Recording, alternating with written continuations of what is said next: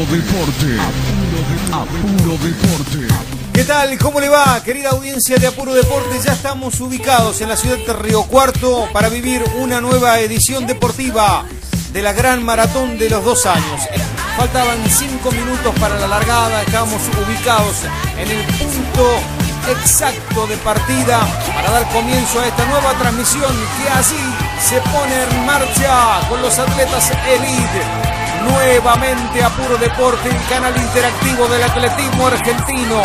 Paso a paso, metro a metro, siguiendo los atletas por toda la República Argentina y en este caso en la ciudad de Río Cuarto para vivir la edición de la maratón de los dos años, la corrida atlética de los dos años que ya lleva la edición número 34.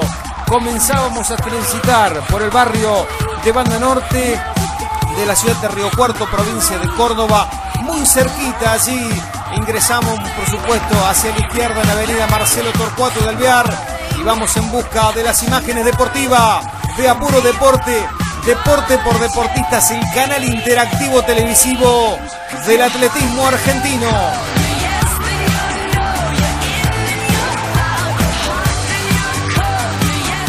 Y así está, aparece la figura de los vanguardistas, los primeros de la ruta, los primeros en el camino. Ismael Langat, Marcelo Peralta, así también por supuesto en la zona del puente carretero de la ciudad de Río Cuarto se daba una gran batalla entre Ismael Langat y Marcelo Peralta también junto a Osvaldo Barreto y a la expectativa. Así estaba Wilson Videla, el hombre de San Rafael de Mendoza, que venía unos metros atrás cruzando el puente carretero. Y prosigue la cámara deportiva de Apuro Deporte metiéndonos ya en el recorrido de la maratón de los dos años. Así está Ovaldo Barreto, el hombre que perseguía y trataba de mantener el ritmo en calle Las Heras.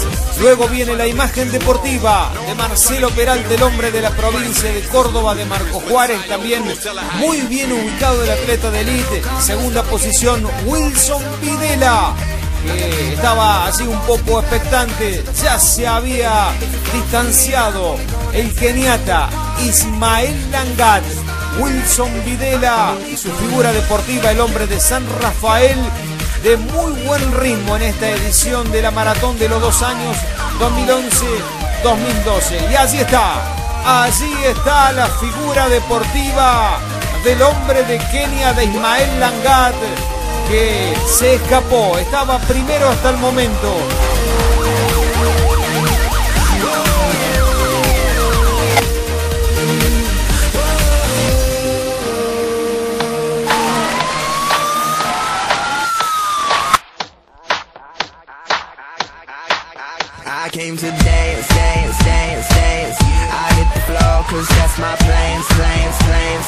Ismael Langat, el hombre de Kenia, en avenida Fray Quirico Porreca del barrio de Banda Norte, culminando los últimos kilómetros para terminar la corrida atlética de los dos años.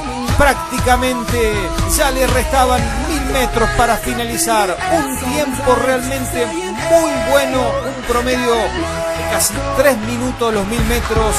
El hombre de Kenia, Ismael Langat, había dicho que estaba muy bien preparado. El año pasado ubicó la segunda posición. Este año quería el triunfo y lo estaba logrando hasta el momento. Ismael Langat, paso a paso, metro a metro, codo a codo. Un ritmo realmente muy importante el que mantenía el hombre de Kenia aquí en las calles de Río Cuarto en esta edición de la corrida atlética de los dos años 2011-2012 primero, primero, a la vanguardia, Ismael Langat, aquí en Apuro Deporte, Deporte por Deportistas, el canal interactivo del atletismo argentino.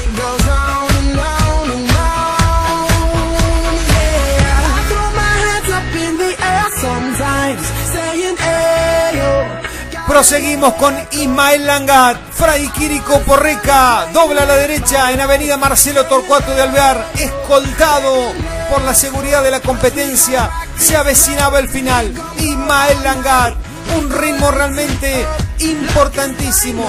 Ya se había distanciado de Wilson Videla, ya estaba escapado. Primero, primero en Asociación Atlética Banda Norte va a ingresar Ismael Langat con un tiempo realmente muy importante en estos 10 kilómetros de la corrida atlética de los dos años. Primero, primero, Ismael Langat. Y final, final y final.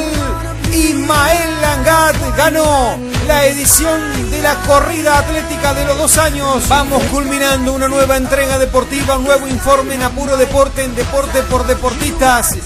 Comenzando un año competitivo realmente exitoso para todos ustedes con esta nueva edición de la corrida atlética de los dos años.